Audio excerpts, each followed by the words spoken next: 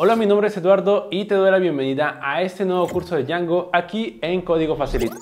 Yo seré tu tutor a lo largo de esta serie de videos que comprende el curso, donde nos enfocaremos en desarrollar nuestra propia tienda en línea, utilizando la versión más reciente del framework Django, la versión 2.2. En el curso cubriremos temas muy interesantes, comenzando desde lo más básico.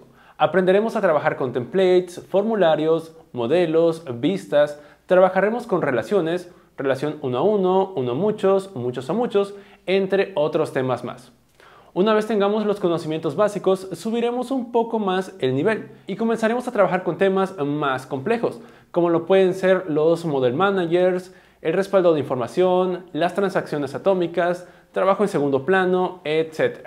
Todos los temas que, déjame decirte, son más de 100, están enfocados en crear una plataforma funcional de venta en línea Trabajaremos con productos, carrito de compras, órdenes, cargos.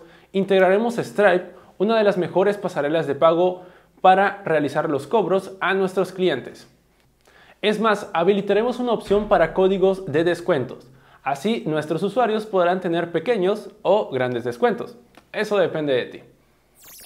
El curso está dividido en módulos muy puntuales, en los cuales aprenderemos temas completamente nuevos y por supuesto implementaremos temas anteriormente vistos para así reforzar nuestros conocimientos.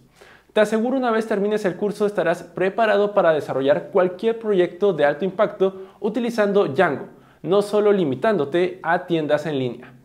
En el curso trabajaremos con buenas prácticas, evitaremos el código duplicado, realizaremos observaciones en áreas de mejora, implementaremos un refactor continuo e inclusive generaremos validaciones contra posibles ataques. Si no cuentas con conocimientos de Django, no te preocupes. De igual forma puedes tomar este curso. Los únicos requerimientos para tomar el curso sin ningún tipo de inconveniente son contar con conocimientos sólidos de Python, Principalmente conocer las estructuras de Python, por ejemplo, tuplas, listas, diccionarios, entre otras, además de tener conocimientos sólidos de programación orientada a objetos. De igual forma, es necesario contar con Python instalado en tu equipo de cómputo y tener una leve noción acerca de base de datos.